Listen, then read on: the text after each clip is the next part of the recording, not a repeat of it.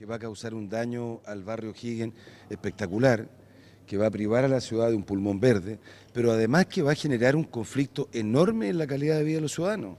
Pensemos que aquí hay una mil departamentos. ¿Cuántos autos van a bajar por Washington hacia la avenida Argentina todos los días?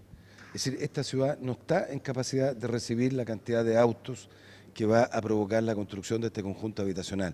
De modo que no he escuchado hasta ahora ninguna voluntad de compensar, de modificar, de mitigar. Solamente aquí lo que hay es una voracidad de una inmobiliaria para derechamente dañar la calidad de vida de los habitantes del sector O'Higgins y de Valparaíso. Yo tiendo a pensar que aquí en el permiso que se otorgó para la construcción tiendo a pensar que hay vicios de ilegalidad y yo espero que la Corte de Apelaciones de Valparaíso ratifique ese criterio, hasta dictámenes del propio actual Contralor, que hacen pensar, creo yo, de que ha habido vicios de legalidad en los permisos para construir ese, conjunto habitacional. De eso no, lo digo concluyentemente porque está en los tribunales, pero tiendo a pensar como abogado de que hay vicios de ilegalidad. los permisos incluso contradicen eh, decisiones del propio actual Contralor Bermúdez, del anterior, eh, mire, yo quiero decir una cosa.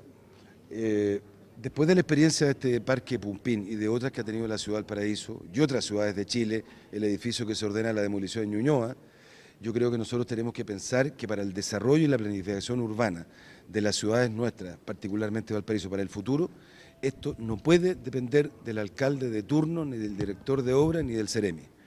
Esto tiene que ser un ente independiente, técnico, que esté ajeno a la influencia política, porque estas tres autoridades, alcaldes, directores de obra y CRM de vivienda, si tienen una posición respecto al desarrollo de las ciudades para el futuro, eso puede terminar provocando un daño enorme a las ciudades y la comunidad no tiene ninguna posibilidad de participar ni de influir en las decisiones que se toman. Entonces, creo que hay que repensar la institucionalidad municipal y del gobierno central que está pensando, autorizando, regulando el desarrollo futuro de las ciudades.